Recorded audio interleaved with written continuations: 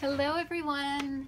Thank you so much for joining me for story time today. I'm so happy you were able to make it.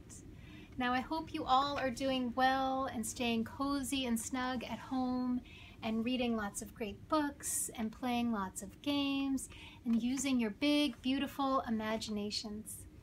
My name is Jacqueline Veissid and I am a children's book author and I would love to share my two books with you today. I have Ruby's Sword and Caspian Finds a Friend. Now both these books came out last year um, with Chronicle Books in San Francisco and I just wanted to shout out a big thank you to Chronicle for allowing me to share these books with you today.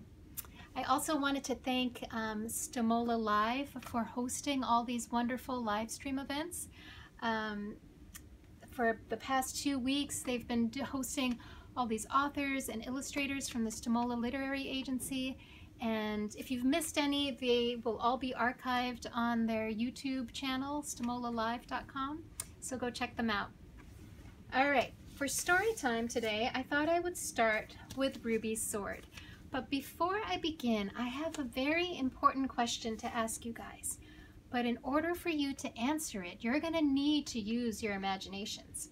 And I think it might help if we put on our imaginary imagination caps. So if everyone can reach up way high and grab hold of your imagination caps and pop them on your heads. Now turn them on high and I'm going to show you something and I want you to tell me what you think it is. You ready? Here we go. What do you think this is? Now I can't hear you, um, but shout it out anyway to whoever's in the room with you and let them know what you think this is. Now I'm going to tell you some ideas that kids at my story times have shared with me. So some kids thought it would make a great arrow or maybe a stick man um, or maybe even a bird's leg with a bird's foot. Sometimes you see these footprints on the beach, right? Bird prints. Um, some other people thought it could make um, a great snowman's arm. I love that one. So it really can be anything you want it to be. All you have to do is use your imaginations. So today I'm going to put this away and we are all going to have our own imaginary stick swords. Um, and in this book, Ruby swishes her stick sword a whole bunch of times and I thought we could help her and swish along with her. Do you guys want to try? Let's reach down and grab hold of our imaginary stick swords and let's practice swishing. Swish, swish, swish, swish, swish, swish. Excellent. Now tuck them into your pockets and I'll let you know when it's time to take them out, okay? All right, let's read Ruby's Sword. It's written by me and it's illustrated by Paola Zakimi who lives all the way in Argentina and she made all these beautiful pictures in this book. And here we go. Ruby raced through a sea of summer grass after her brothers, their long legs leaping ahead. Wait up, she called out.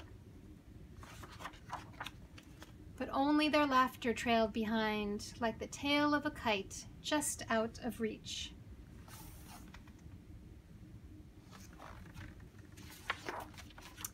Ruby flopped onto the ground, heart thumping. A single cloud sailed across an endless blue sky. A warm wind rippled through the grass, bending blades and revealing something hidden. What do you think those are? Let's see what Ruby thinks. Swords! Leaping and lunging, swirling and swishing, Ruby felt invincible.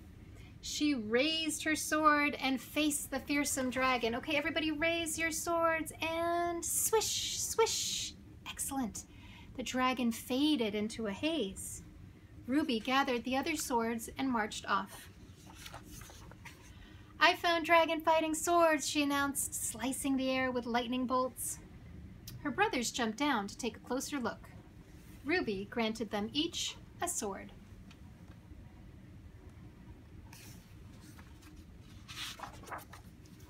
Two knights in battle, bold and brave. Click-clack, click-clack. Ruby watched. My turn, she shouted. Click-clack, click-clack was all she heard. Ruby stormed off in a cloud of dust and disappointment.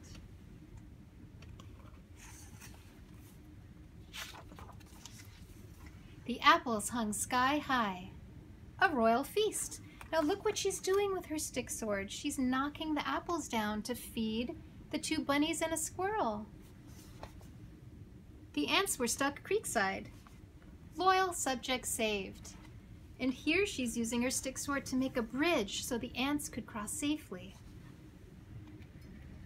See, swords don't have to be just for fighting. You can do anything with them.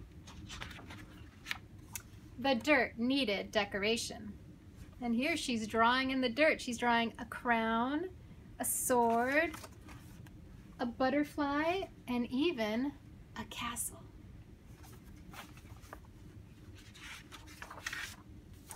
A sudden stillness filled the air. Swallows scattered, shadows faded, a rolling storm blanketed the sun. Ruby raised her trusty sword. Okay, everyone, a big storm's coming. Raise your trusty swords. Wild winds whipped. Swish, swish. Rumbling clouds grumbled. Swish, swish. Raindrops drummed. Swish, swish. Ruby gathered all her strength. Ready? Swish, swish. Good job. A mighty gust of wind blew a sheet off a laundry line. Ruby caught it with her sword.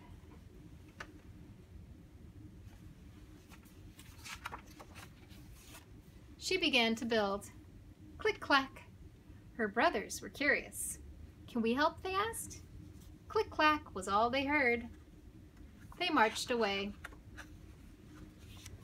and returned with some honorable offerings. Twigs, rocks, a handful of dandelions, and finally, their swords.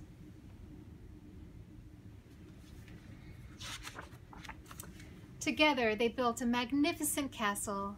Click-clack, click-clack, click-clack. Perfect for sheltering many loyal subjects and three noble knights. The end. So that, my friends, was Ruby's sword. And I wanted to share with you one more magical stick sword that my daughter found on a hike nearby. Look at this one. Isn't this pretty amazing? All spiraled and twisted up. Now, if we use our imaginations, what could this be? It's got a great handle too, so yes, it could be a sword or maybe a magical wand. Or if we turn it this way, maybe it's an ancient walking stick. Um, or even a vine that monkeys could swing on, right? Um, and what if I put it on my head like this? Could it be a unicorn's horn? Maybe. So I encourage you guys to go out into your backyards if you have them or into a quiet park and find your own sticks and make them anything you want them to be, right? Maybe they're swords or maybe they're snowman's arms. They could be anything, right? Um, you just have to use your imagination. I also have a fun craft idea for you guys today related to Ruby's sword. So remember in the book where the dirt needed decoration and she got busy drawing in the dirt, right? And see here where she drew a castle? And what did she build with her brothers at the end of the book? Do you guys remember? Was it a castle? So in a way, it was like Ruby was drawing in the dirt something she would later build. It was like she was designing something. So if you guys have any paper at home, um, I have brown paper here to look like dirt, but you can use white paper. And you can use a pencil. I have a, a tree branch pencil. It's made from a real tree branch and you can draw on your paper as if you're drawing in the dirt, just like Ruby. Um, it could be something you would design or um, anything really. All you have to do is use your imagination. So that's the craft idea for Ruby. And next up, I am excited to share Caspian Finds a Friend. Now this book was illustrated by Merrilees Brown. She did all the gorgeous artwork in this book. Um, and the story was inspired by a quote I read um, by a poet who lived a long time ago. His name is Rumi, and um, the quote goes, What you seek is seeking you. And I love the idea of that quote that um, if there's something you really want, something you're wishing for, maybe that something really wants and is wishing for you too. So I use that to structure the story. Um, and Merrilees, I had spoken with her about it, and she had mentioned how she um, used that circular nature of the quote, what you seek is seeking you, and she put circles throughout the book. So for instance, the end papers, we have fish swimming in circles. And you might find other circle circles in the book like um, the sun, the shape of the sun, or even the sweeping arc of a wave. So you can look out for those. All right, here we go. Caspian finds a friend. Caspian lives in a lighthouse surrounded by a cold gray blue sea. Every day he watches the waves, wondering, waiting, wishing for a friend. Do you guys see him right here? He's little, he's just a little guy right there. Every night he casts his light out into the darkness, searching. But no one arrives, just the sea and the skies, and so he waits.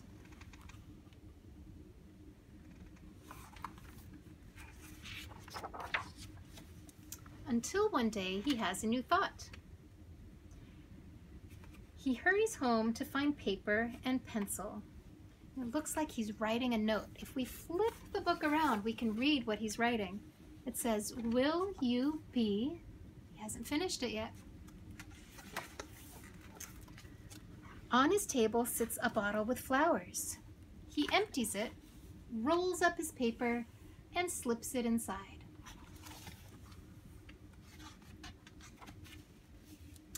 Then down to the wide open sea he runs and throws the bottle in.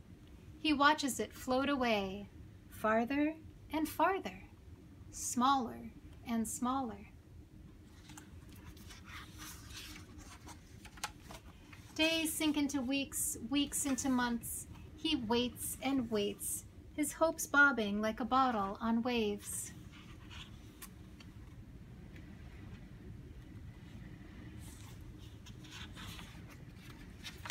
Early one morning, Caspian notices a glistening nestled in the rocks. He slowly uncorks the bottle and pulls out a piece of paper. Only one word is written.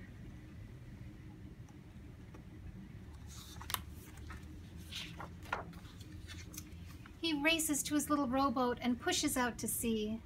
Day fades into night and still he keeps rowing and rowing.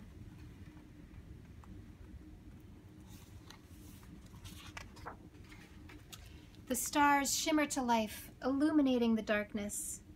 Caspian lies down in his boat and looks up.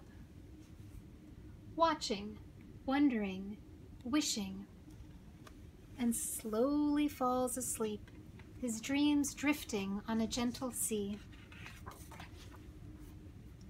At first blush of dawn, Caspian wakes. In the distance, he sees something floating towards him.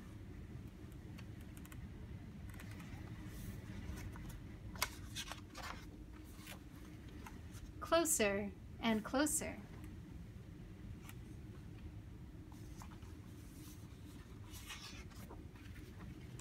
bigger and bigger.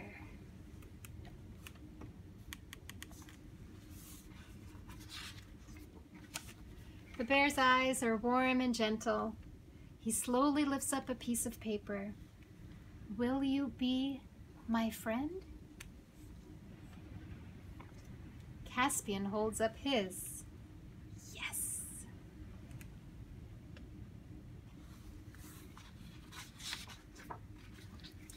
Together they travel across a sparkling sunlit sea, back to the lighthouse, back home.